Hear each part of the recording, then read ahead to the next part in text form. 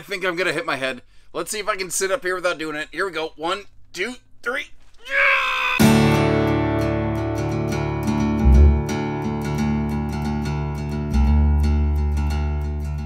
Hey everybody, Josh RV Nerd here at Bish's RV with some updated footage for you on the 21 RBSS uh, North Trail by Heartland right here. This was a very popular model last year, and uh, we had a lot of comments come in, and I really think North Trail did a really good job of taking as many of those comments as they could and improving this product based on your feedback and giving you the input that you're looking for. They've um they've rec- I'm not going to tell you it's perfect. It's not necessarily a problem-free philosophy Hakuna Matata that works for every single person, but I think this one if what you're looking for is big trailer features but in a really small lighter weight towing size, they have packed a ton of content into this, like starting right up front with that uh, ginormous 72 by 80 king bed that you could always swap out for a true queen if you're so inclined.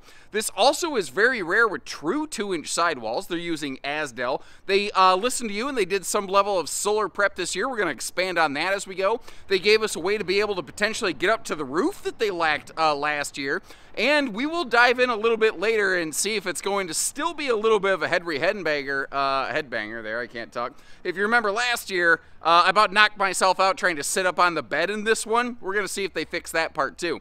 This is also one of the shortest, smallest, and lightest travel trailers I've ever seen with wide stance stability axles, which really significantly improves your uh, ride and handling. They've got a huge front storage compartment. It is carpetless, uh, even in the slide, it's ventless, and they really kind of some people want a theater seat. Some people want a hide a bed. Some people want a dinette or a dinofa. And they kind of went, yes, we will do all of that with one thing. And I want to show you how all that works in case you're not familiar with this model. Like I said, it's got a couple cool things. It's got a couple downsides. It's got great travel access. The bathroom elbow room might be a little bit tight if you're a person of stature, we'll say. But I want to give you the good with the bad and let you make the best and most educated decisions. And if you appreciate that, make sure you hit that subscribe button. Let's hop inside and see what she does have to offer. And I thought I would start this one a little bit differently by beginning our main video in road mode with the slides closed. Logically, when you get there, this is what it's uh, going to look like. And really what we're simulating here is if you made an overnight stayover and you wake up in bed and you're looking toward the back of the RV, that is what we're looking at right now. Because you can notice the entry door is over here on the left. Uh, the refrigerator is right behind the bathroom door over here. So if you walk in the door, you can grab something from the fridge, whether you're at your destination or if you're on the road. And there is absolutely nothing stopping you from getting over here uh, into the bathroom for a quick little, you know, emergency travel potty stop or something like that. We're going to come back and see all this in far more detail. But I kind of thought I would uh, give you a little look at what she might look like either in storage or you know, if you pull over to that Cracker Barrel or Walmart parking lot. What is nice is, like you see, you can still have full use of the bed. Basically, everything but the sofa for seating is good to go. Now, all opened up in here, we have some big RV content in some small RV space. But they, I I just really think they're nailing a lot of the big stuff. Like we're carpetless, we're ventless, we're easy cleaning, we're pet friendly. Um, and you notice they're using, it's not truly a floor flush slide, but it's a lot closer. And what it allows them to do is put like a full size sofa in there. And that is what will uh, allow that sofa to have like a little sort of foot kick out uh, ability. Um, even some guest sleeping that a, uh, a jackknife sofa in a lot of similarly sized RVs will not have. Now, I'm a big fan of any time I can get some kind of shoe garage. I'm open to input and opinions here. Like, I'm of mixed emotions. It's open-faced, which is great, but it's kind of just like facing into the living room. And uh, I, I, feel like I could still kind of see a bunch of the clutter there. I don't know how in love with that concept I am. And you you might like this, you might not, but some people really love the fact that that's a 72 by 80 king bed in a short, small RV. This is, uh, there's a lot of aspects of this RV that are real big person friendly. The bathroom can be a little bit of a trick though, so we're to make sure that we tune in on that portion. What is interesting though, if you look down below, you notice how the the bed base where that like shoe garage is located, how it's not nearly as wide as the mattress. The bed base is queen sized. So if you do prefer a queen bed, it's very simple. All you do is just swap out the mattress for the True Queen of your choice and call it macaroni. Now, uh, last year they had USB plugs around the bed, but nobody really knew they were there, and frankly, the location of them was not ideal. The USB plugs uh, were actually located on these overhead light fixtures, which meant you had to dangle a USB cord down. And I don't know if you noticed this, but the, the side stands are pretty far away. By the way, I'm going to give them points here for using a radius edge on that hanging wardrobe tower right next to the bed, so it's not a shoulder stabber, which is nice. And for a second, I thought, oh, they don't have USB plugs this year. And then I looked a little bit more closely, and turns out, yes, they do. They have USB and household. Now, they didn't kill themselves. They've got one USB on both sides of the bed, but I do you need more than that? I, I mean, I could always put some kind of split or something on there. One other thing, uh, back it up over here right by the entry door. It doesn't have like a full command center. It just has these uh, things known as switches that for some reason they just keep working, you know? Um, older I get, the the more I'm like almost against more tech. I, I don't know. Maybe I'm just getting grouchy, but I'm like the Clint Eastwood of millennials. Uh, I'm, I'm like grouchy, you know? Anyway, um, this right here, USB plug. But why though? Like why I why is it here? That's the thing I don't really what would you do with it? I don't know. Anyway. Up top here, uh, you've got a, a more powerful 15,000 BTU centrally ducted air. And one of the other things on these, very similar like Rockwood and Flagstaff or something like that, they have a laminated roof structure uh, to help keep the, uh, you know, the, the heat out of the thing uh, uh effectively. We're going to come back and see all the bedroom storage and extra details in a little bit. One of the things you could call it uh, smart design, or you could call it corner cutting and cost control, or whatever you want to call it. The fact is, there's there's a lot of things in this RV that it preps for. Like they are ready to throw a TV up there. They are ready for solar. They're ready for a ladder. They don't actually do any of those things. They let you decide how important that is to you. Now, that does mean that the price tags on these are generally more aggressive, and it also means that you may need to spend some extra money in addition to the purchase of your RV's price tag to fully outfit it the way that you want. The argument that some people will make, I like those blackout roller shades right there, but the argument that some people might make is sure, it uh, you know it, it costs uh, a little less upfront but even with a couple specific upfits and upgrades that i want it still saved me a pretty penny over the luxury fully loaded glam series that i was also looking at. And there's no right or wrong answer to that. It's just a matter of which one kind of works for you. Now compared to last year they have lightened and softened up the decor a great deal. These were a little bit bitey and aggressive. They've swapped over to a solid surface countertop um, the, I mean, the only thing this one doesn't do extremely well, really, for a small RV is giving us campsite window coverage. If we sit down at the sofa, though, you, you would have, you know, your bedroom window, your kitchen window, and the window in your entry door. And I kind of wonder, you know, with all the open sidewall action that they have right here, should they be including another window? Although that may put a window just behind our stovetop, which could be a grease splatter magnet so I don't know, is that the right decision? Is that the wrong decision? You folks tell me. And this is an RV industry first. They are doing air fryer ovens now, which is very cool. Heartland's doing a lot of that, and I think you're going to see more and more of that across the RV industry. I'll get you a look at that in uh, a little bit here. Now, they're doing a, uh, a big farm sink. They don't include any kind of sink cover, but they're ready for that kind of stuff. A sink cover is a fairly easy thing to be able to sort out. And they have gone exclusively 12 volt compressor fridge. Uh, that is something that is going to start happening more and more and more. Uh, I, basically, gas electric two-way suppliers, one of them kind of quit, and the other one made themselves very expensive, so suddenly 12-volt refrigerators became the, the, the, smart option for a lot of people.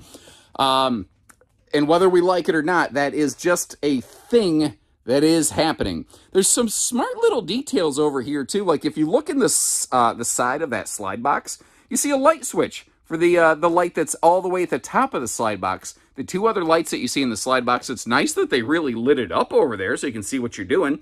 Those you can reach when you're sitting on the sofa, however. Now, uh, I'm going to get a bunch of questions, and they don't really do a lot of other seating swaptions. We might be able to custom order and request a theater seat in this RV, But um, this one has a little bit of a workaround for that. You might like it, you might not, but we're going to see that in just a second.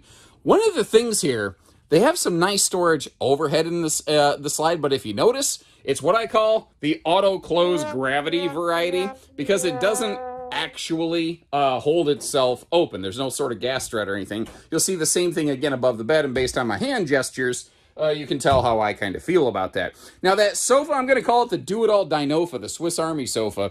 Um, you know, it's it's a jackknife sofa that has a, a big foot chest extension with an extra cushion in it that can open up into a sleeper. You saw there's a free-floating uh, folding leg table included with the RV. Um, and it is very sheer, it is very thin, but I do appreciate that they did give us a privacy curtain. If you're if you scroll back in the video though, you may notice where uh, there's there's actually two fabric holdbacks for that privacy curtain. One is right next to the slide out. I don't recommend using that because if one of those curtains accidentally gets uh, pulled into that slide out, you might not realize it, and it may allow water to wick in through exposed fabric outside the RV if it's raining and basically create your own leak uh, which is the opposite of what you want. So I would never recommend putting that curtain over on the poop side of the camper, basically. I saw there the air fryer oven, giving you a look at all the storage. Um, you know, it's got a couple drawers, not a ton of drawers, but it's not a giant RV. I think it's got enough drawer coverage. I like the dedicated pantry space. Overall, in terms of kitchen storage, I think it's pretty great. If there's one little thing I think they maybe could easily win and do better on, it's that if you look where there's this big boxy space where your TV could mount, that's a big chunk of wasted air, man. Like, there's got to be some kind of storage potential or some better function they could have done with that. Now, as long as I'm laying down here, I'm going to point you almost straight up, so don't be, you know, if you're motion sick, you might want to keep that in mind. I'm going to go slow. This is just a vent above us, uh, it, it, you know, like a, basically a glorified skylight with some airflow capacity. It doesn't have any sort of power uh, run to it, so it's not really fan capable, and with this being a laminated roof, running wiring through that is uh, a, a, trickier thing than it would be in a lot of other roof structures. So kind of keep that in mind. Now, uh, moving back to the bathroom, smart content. A locking bathroom door is the simplest, stupidest, smartest thing and sometimes it's that peace of mind and privacy you need, especially when, if you notice, they are doing a little bit of the peekaboo, I smell you kind of bathroom door on this one. Now, the toilet space here, this is a little bit of a trick. If you're left-handed and you open the shower, you're fine. If you're right-handed, you're going to have to open the shower and lean over to uh, be able to apply the butt napkins, as it were, over here. And uh, I'm not trying to be gross about that. I'm trying to be realistic and help you understand if this is or is not the right RV for you, you know? Showing you, I, I like that extra uh, linen storage they have, and it's not open face storage. Even though this is an RV that is um, smartly budget sensitive in a lot of ways, they still found a way to do doors on their storage, and it's amazing how many more expensive brands do not. We do have only the basic fan here because they don't tend to overdo a whole heck of a lot. Um, the uh, the shower headroom is fine for some. For, you know, I'm a little over six foot tall. I stood in that shower just fine. Once again, though, elbow room could be a horse of a different color. By the way, if you watch The Wizard of Oz, um, there's a scene at uh, where there's a horse hooked up to a carriage, and the guy says, "Well, that's a horse of a different color." You can see the horse licking its lips, and you notice how the horse changed color like uh, every scene. That's because they basically smeared the horse with like jello powder and a little bit of water to give it that sort of color. And the horse is like, mm, mm, mm, I like uh, I like that kind of stuff, which I think is exactly what the horse said in the uh, the DVD uh, after party notes, uh, if, if I recall correctly. Now, one major thing to talk about here, when you hear a lot of laminated RV talk, you hear a lot of things about laminated floors. This does not use a laminated floor. Some people get spooked by laminated floors worrying about potential soft spots, which is a thing that has really plagued the RV industry in the past. This is a 5 8 tongue and groove plywood floor deck with aluminum uh, uh, uh, joists going through, uh, packed with insulation. The underbelly is forced air heated and enclosed, by the way. Let's take a look at the towing specs here. I think this is something that very nicely falls into the category of potentially half-ton towable. Uh, a lot of people will shop it based on the dry weight, but one of the things that I think is absolutely outstanding on this, to the point of some people may argue it's overkill, is that huge cargo carrying capacity that you find on this model right here. And it's long been my experience. It's not a guarantee, but I see personally a trend from my years of experience doing this. RVs with a higher cargo capacity tend to be RVs that stay out of the shop because the structure is not basically right at its strength limit uh, in what it's doing the entire time. It's, you know, it's got some, some extra giddy up available to it. Um, the, uh, you know, it's a standard 8 foot wide, but again, you've got those uh, uh, wide stance stability axles, and with this short length that we're looking at right here, this is going to be a nice and easy tower and goer. Now, maybe something to consider if you're going to do a lot of high mileage towing. Um, these are import tires, and uh, there are a lot of people who feel better with things like, uh, you know, Goodyear tires or something of that nature. One of the things on these import tires that's really important is you really need to learn like what is your maximum speed rating with these tires. Some of these things are like 60, 65 miles an hour. So if you're towing 70, 75 miles an hour, which I never recommend you do when you're towing an RV, but people do it. We've all seen them on the highway. They're like, full send, brother. I got a Ford Ranger. Get out the way. And um, I'm paraphrasing, obviously, but you get the idea. Um, you know, if you keep your tires inflated properly, if you don't overdrive the tires speed-wise, import tires should treat you just fine. But if you don't like that idea, you want some more peace of mind, you can always swap them out. North Trails run less than a lot of other brands, but you know, depending on what you want to add to it, like different tires, that may shift the budget for you. Now, I brought that table from inside out here to show you how big this storage compartment is. Uh, notice over on the left, this is something they added last year based on your input. First of all, I love that battery disconnect. If I'm going to be picky, I'd rather be Josh, but if I'm going to be picky, I would mount it up a little bit higher to get it away from shifting cargo. But last year, these had absolutely jack and squat for solar prep of any variety. This year, they've actually gone beyond, um, you know, solar prep, and they are solar ready. And the difference there, what that means, solar prep means you still have to run a bunch of the wiring. Solar ready means you literally plug and play the solar panel of your choice if you even want solar. So I'd be kind of curious to know what you think about that. Now, the reason I've been floating around here for so long also is you notice how nicely finished and clean even the ceiling of that pass-through is? That's because that entire bed deck below you where you're sleeping, where your body is located, is laminated. Very similar to like the sidewalls, but again, not the floor. Um, the uh, the idea there is it's going to form a little bit of a uh, a thermal barrier between you and the outside to help you stay more comfortable. Now, in that front pass through, there was tire pressure, uh, TPMS prep, tire pressure monitoring prep. Uh, there was also lights on both sides of the pass through. The awning is not amazing. It could be better, but they did give us a bedside breeze window and that huge pass-through compartment. You know, it just kind of, it sort of is what it is. One of those things sometimes you, you know, you might want it all and you might want it now, like Freddie Mercury, but we, uh, we can't get it all every single time necessarily. Now, uh, your entry door is a Miss Piggy anti-slam karate chop. Hi-ya! So that you don't uh, go slamming it against the side of the RV. And we do have ourselves, it is dangerously close to being a propanus. If you weren't aware, uh, the very unofficial technical term, uh, when a gas grill quick connect comes out, you know, when the gas comes out the backside of the RV, well, that's a propanus. But that right there, coming off the side, is a propane cooker hooker. Uh, which is also Nerdism number 37. And in case you're wondering why they're all number 37, it's a great question. Thanks for asking.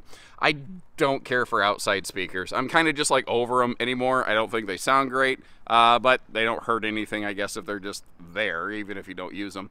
And that little uh, ladder mount right there, made for one of those uh, telescopic portable ladders, that is something that these lacked entirely last year. Obviously, it still doesn't have a factory roof ladder, but at least they have given us a way if we want to, we could get up to the roof of this thing. Oh, that hurt. I just ran backwards walking directly into the fifth wheel hitch of a Cougar fifth wheel behind this thing because I wasn't paying attention. Oh, that sucked. Anyway, um, a very, very rare quality on this one. A true two inch sidewall. Inch and a half walls are the most common in laminated RVs. There are some one inch thick laminated walls out there. This is twice as thick on the sidewalls. I think that's a pretty big deal. Again, they got that fully walkable laminated roofing. They have that 5 8 tongue and groove plywood floor decking. And this is not made to be any sort of like mega off-road, off-grid camper. It doesn't have the world's biggest holding tank capacities. It doesn't have the most amazing clearance on the sewer outlet, but thankfully it is a single sewer outlet. And you see that we have uh, they they don't put water hookups above the electrical hookups on this one. That doesn't necessarily bother me, but I do prefer it when they aren't like that. That big rectangle, by the way, is a full hot cold outside utility shower, not just a cold water uh, sprayer port. Uh, backing up a little bit, something I like on these that is a very unsung quality in a lot of RVs tinted windows. It helps keep the heat out and the nosy neighbors, obviously. Uh, and in case you are going to be, um, you know, if you're camping in an area that has like a lot of tree coverage that drops a lot of crap on top of your RV, uh, pine needles, whatnot. It is prepped and ready for a slide awning if that is something that you would like to apply. Now, this is another uh, more recent update. Very, very similar. If you're familiar with like Keystone or Crossroads, they have a, a thing called the Gigi Box. Heartland has the Vault. Um, and I feel like when you say it, there should be some sort of like gong gong, like some sort of sound effect that goes along with it. But uh, almost like that sound that comes after the uh, intro of Law and Order SVU. Uh, I, though, when you know, you know. If I if you don't know what I'm talking about, just ignore me. The vault. But the vault, what that thing does it, these things used to have just this terrible bank of relays on the front that were exposed to weather and could cause um, electrical issues from time to time from weather exposure. The Vault keeps that not only enclosed and protected, but it also acts as a true hard battery disconnect, eliminating parasitic load from the RV to the batteries when it is disconnected, which I think is pretty cool. So, what do you think? I think they did a pretty good job versus last year. Some folks uh, commented on the decor. Folks didn't like the lack of any roof access. Folks didn't like any sort of solar. And I think they really kind of shored up those edges. But it's not to say that this is the RV for everybody. There are certainly some options out there that might work better for other folks. This is a very popular layout, a very popular floor plan, and I will leave you some links in the video description both to check pricing and availability on this one, as well as to, uh, to, to watch some full videos I've done of other people that make a layout very, very similar to this and let you decide which one works for you. And I'd be kind of curious, who do you think makes the very best version of this, and where do they nail it, and how could they improve it again next year. Let's see if we can't help them once again. So take care, stay safe, have fun, and happy camping, everyone.